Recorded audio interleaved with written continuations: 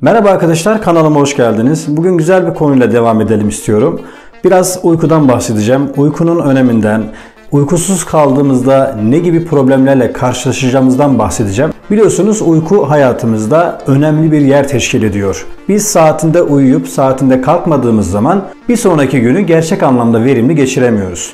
Uyku bilinenin aksine bedenin ve beynin kendini kapatması değil tam anlamıyla iyileşme, düzenleme ve güçlendirme çalışmalarının yapıldığı aşama. Gün boyu birçok olayla karşılaşıyoruz, birçok bilgi öğreniyoruz. Bu bilgilerin düzenlenmesi elbette uyku sırasında gerçekleşiyor. Uyku esnasında kısa süreli bellekten uzun süreli belleğe bilgilerimizi aktarıyoruz. Vücudumuzdaki organların kendini yenilemesinden tutun, hormonların sentezlenmesine kadar, kısa süreli bellekten uzun süreli belleğe bilgilerin aktarılmasına kadar birçok olay uyku esnasında gerçekleşiyor.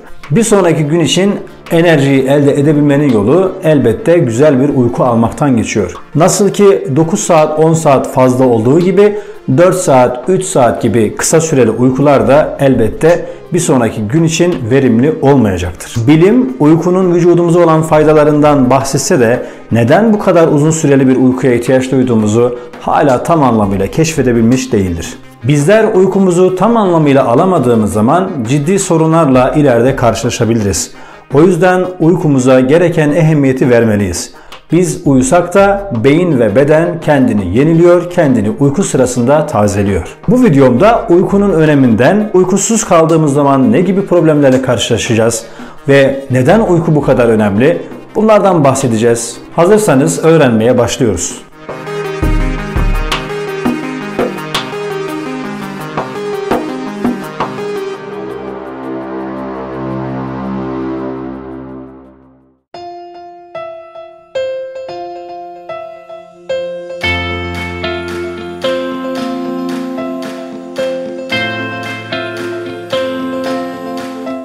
Uykudayken beynimizin elektriksel faaliyetleri iki temel örüntü döngüsüne girer.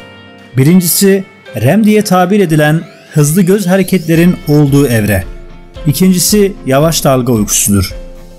Hafızanın düzenlenmesi uyku sırasında gerçekleşir. REM evresinde duygusal ve teknik bilgilerin, yavaş dalga evresinde deneyimsel bilgilerin yani anıların ve bilinçli kayıtların düzenlendiği düşünülmektedir.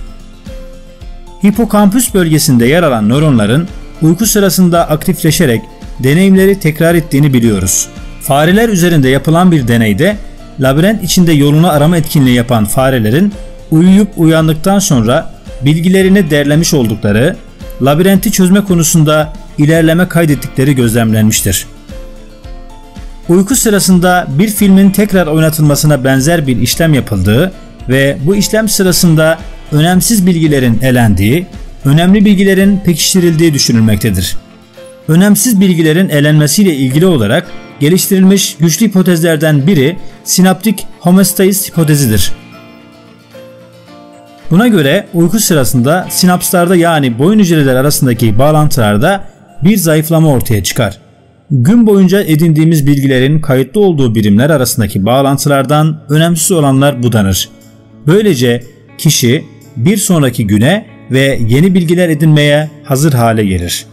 Bu hipotez yaşlandıkça daha az uykuya ihtiyaç duymamızın sebebini erken yaşlarda daha fazla bilgi edinmek zorunda oluşumuzla açıklar.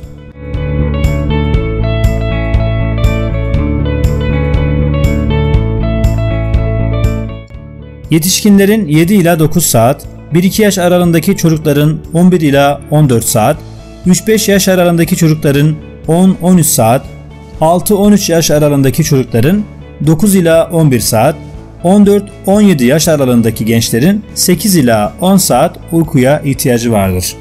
Yaşlandıkça daha az uykuya ihtiyaç duyarız ve uykumuz daha fazla bölünür. Uyku sırasında beynimizde nörodejeneratif hastalıklara yol açan toksinler temizlenir. Fareler üzerinde yapılan bir başka deneyde Yeterince uyumayan farelerin beyinlerinde toksik proteinlerin dışarı atılmasını sağlayan boşlukların oluşmadığı ve bu farelerde nöronların bozulmasının neden olduğu hastalıkların ortaya çıktığı tespit edilmiştir. Bu tespite dayanarak uzun süreli uyku yoksunluğunun Alzheimer gibi hastalıklara yol açabileceği öne sürülmüştür. konuyla ilgili bir deneyden bahsetmek istiyorum. 11 gün uyanık kalan genç. 1965 yılında Rand Gardner adında 17 yaşındaki bir lise öğrencisi 264 saat uyanık kalır. İkinci gün gözleri odaklanamaz hale gelir. Ardından dokunarak nesneleri algılama yeteneğini kaybeder. Deneyin üçüncü gününde dengesiz ve huysuz ruh hali gözlenir, aynı zamanda sakarlık gibi koordinasyon bozuklukları baş gösterir. Deneyin sonunda Gardner'da gözlenen septomlar şunlar olmuştur. Konsantrasyon ve kısa süreli bellek sorunları, paranoid düşünceler ve davranışlar, hatta halüsinasyon görme. Gardner uzun süreli fiziksel ve psikolojik hasar söz konusu olmadan sağlığına kavuşsa da uyku yoksunluğunun aşırı boyuta gelmesi hormon dengelerinin bozulmasına ve buna bağlı olarak ölümcül sonuçlara yol açabilir. Peki yetersiz uyku nelere yol açar?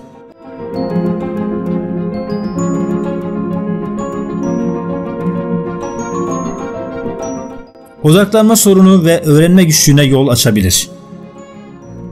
Reaksiyon süresini uzatır. Yaratıcılığı ve keşif kabiliyetini zayıflatır. Tansiyonun yükselmesine neden olabilir. Mikro uyku diye tabir edilen birkaç saniyelik bilinç itimine yol açabilir. Bu da araba kullanmak gibi dikkatin sürekli olmasını gerektiren işlerin yapılmasını güçleştirir ve kazalara yol açabileceği için son derece tehlikelidir. Davranış değişikliklerine yol açabilir. Çocuklar üzerinde yapılan bir deneyde her gece bir saat daha az uyuyan çocukların sınıf davranışlarının olumsuz etkilendiği gözlemlenmiştir. 6 saatten az uyumanın felç riskini 4,5 kat arttırdığı bilinmektedir. Uzun dönemli uyku eksikliğinin nelere yol açacağı ile ilgili bilimsel çalışma yapmak ahlaksal olarak uygun değildir. Ancak kronik uyku bozukluğu yaşayan insanlarda şizofreni, otizm ve Alzheimer gibi hastalıklara daha sık rastlanmasına bakılarak bu ikisi arasında bir ilişki olduğu söylenebilir. Kuşkusuz uykusuzluğun mu hastalıklara yol açtığını yoksa bu hastalıkların mı uykusuzluğa neden olduğunu bilmiyoruz. Ancak beyin sağlığımız için uykunun çok önemli olduğundan eminiz. Başka bir çalışmada görüşmek dileğiyle. Kanalımıza abone olmayı, bu videoyu beğenmeyi unutmayın.